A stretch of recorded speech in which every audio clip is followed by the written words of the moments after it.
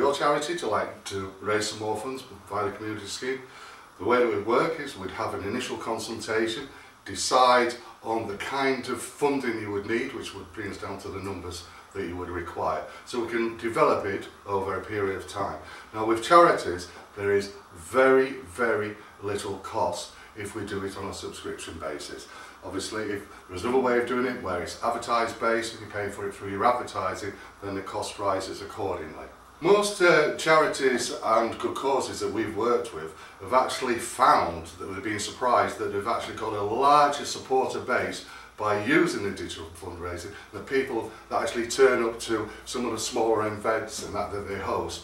The good thing behind it is that once they get a good subscription base going, they can actually start to budget because they start to realise that the amount of people supporting with this income allows them to say, right, well, we're going to get X amount of this month, X amount next month.